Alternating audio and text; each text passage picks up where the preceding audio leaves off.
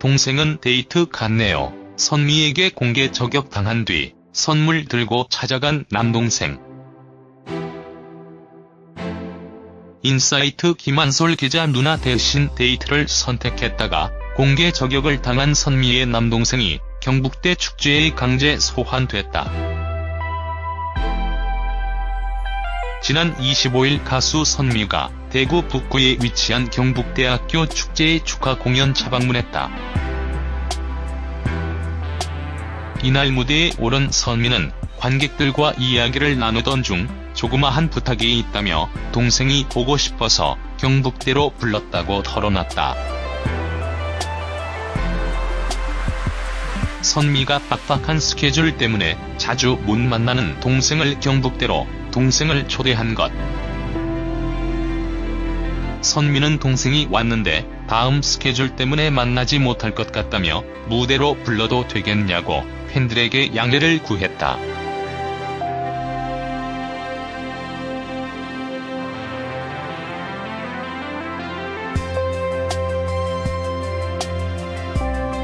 앞서 지난 3월 동생이 다니는 계명대학교 신입생 환영회 행사에 참석한 선미. 당시 그는 무대에서 동생을 만날 수 있던 기회가 있었다. 하지만 동생이 여자친구를 만나러 가는 바람에 만남이 성사되지 않았고 선미는 이 사태를 자신의 인스타그램을 통해 공개 저격한 바 있다.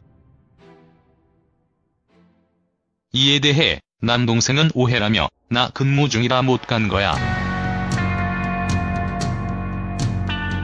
고생했어라고 해명했다.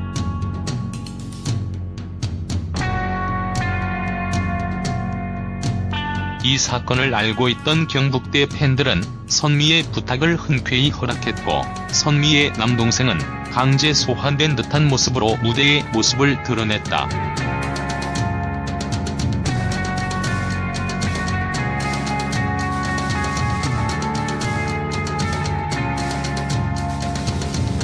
선미는 오랜만에 만난 동생을 보고 반가워하며 띠오가 안겼다.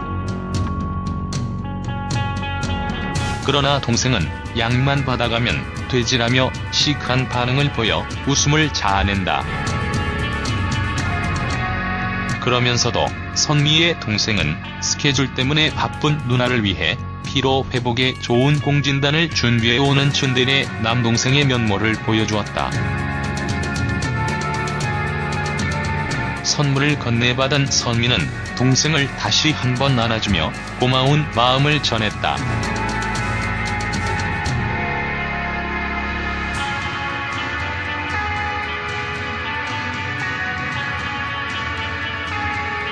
남매의 상봉에 보는 이들은 뭉클해 하면서도 현실 남매 같은 모습에 터져나오는 웃음을 숨기지 못했다는 후문이다.